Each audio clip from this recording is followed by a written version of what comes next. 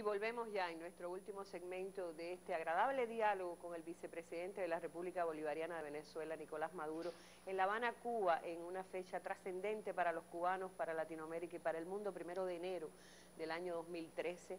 Esta es la pregunta que todos los latinoamericanos y los amigos de Chávez, que son millones en el mundo, eh, no me perdonarán que no haga, al margen de lo que usted nos ha estado comentando hasta ahora pero también junto con esta información que usted daba y que la, y que la revolución ha estado dando, corren rumores malintencionados, hasta una expresión suya de, hasta, hasta una gripe suya puede ser interpretada como una señal de que las cosas van mal.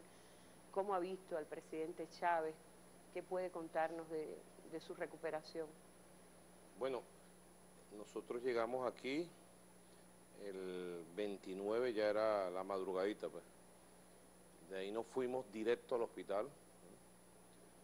Y allí en el hospital estuvimos conversando con los médicos, con las hijas del presidente, con Rosita, con María, con nuestro querido compañero Jorge Arriaza, estaba el comandante Fidel allí, y la conversación duró hasta tarde, actualizándonos de cómo se encontraba el comandante presidente. Luego durante el día 30, estuvimos haciendo seguimiento de la situación y eh, se dio la información oficial que dimos a conocer a través del comunicado.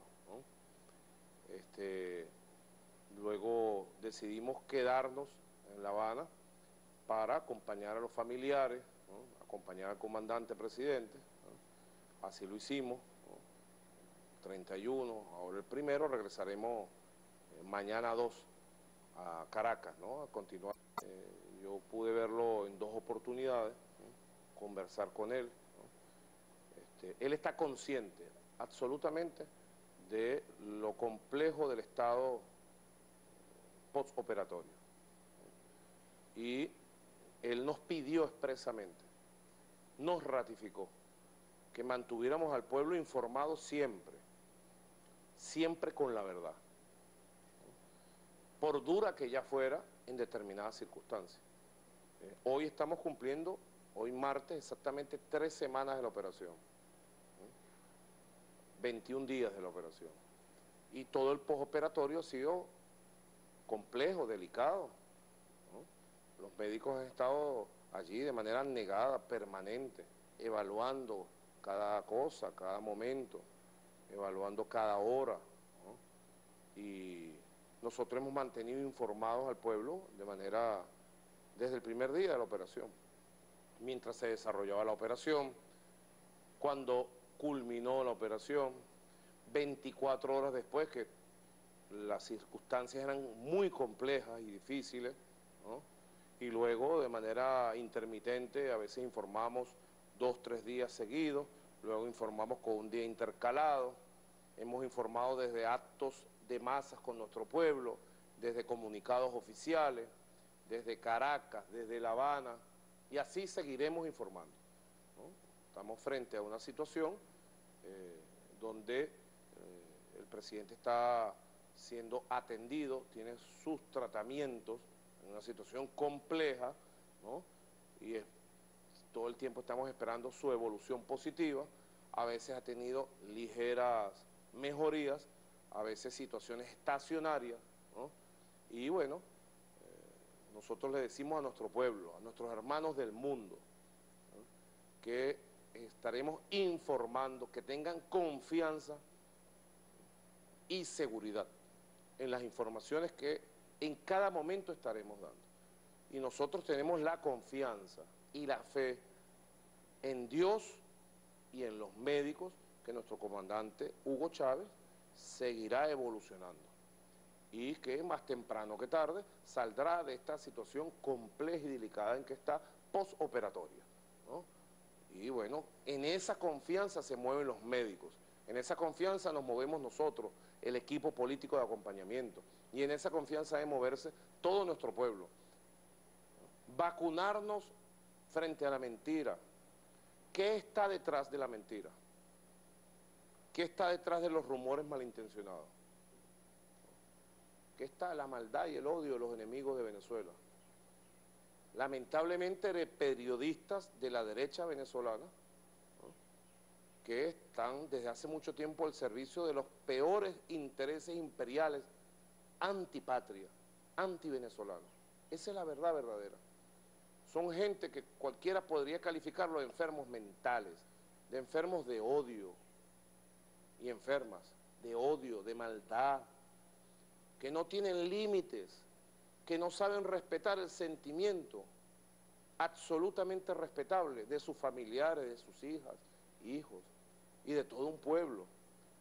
O sea, quien no sabe respetar no tiene límites y es capaz de inventar, de manipular, de tratar de crear situaciones de zozobra, de burlarse, porque son capaces de mofarse de situaciones delicadas como las que hemos vivido. ¿eh? Sencillamente muestran su alma. El alma de la derecha es esa, es un alma miserable. ¿eh? Dirán alguna gente de la oposición venezolana que ellos no, no comparten eso, bienvenido. Hemos recibido mensajes de gente de oposición en lo personal, en lo político, que ellos no comparten eh, los comentarios y las campañas malintencionadas de algunos sectores y periodistas y medios de la derecha. Está bien, pero de pronto ustedes a veces se convierten en cómplices de estos sectores por omisión, por silencio. Ya algunas voces están saliendo, ¿eh? ya porque están jugando con fuego. Es el sentimiento más genuino de amor de un pueblo. ¿eh? Y detrás de eso como hemos dicho, ese sentimiento lo tratan de envenenar con odio, de envenenar para tratar de buscar en algún momento de esta historia un desenlace violento. Que el odio, que, que el amor del pueblo, envenenado por este odio, se convierte en rabia incontrolada. Algunos de ellos han escrito que se convierta y veamos un gaitanazo, un bogotazo.